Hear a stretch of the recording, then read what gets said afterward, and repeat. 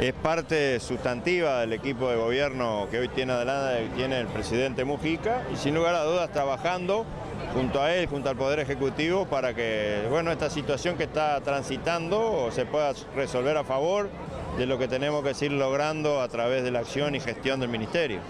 ¿Es una renuncia indeclinable?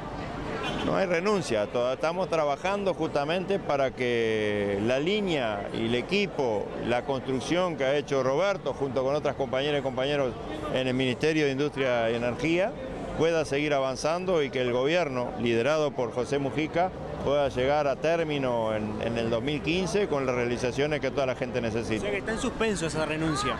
Estamos trabajando para que realmente no haya quiebres en la acción del gobierno en áreas de tanta transformación como es la industria, como es la energía, como es el desarrollo de nuevas disciplinas de la producción y donde, reitero, el Ministerio de Industria y Energía ha sido un líder en ese aspecto. Nosotros como partido lo que vamos a trabajar es tratar de apoyar para que el Frente Amplio respalde fuertemente de que aquí al 2015 sigamos avanzando en realización. Su renuncia fue como para apoyar eh, a, los, a los trabajadores, así lo sintieron ellos.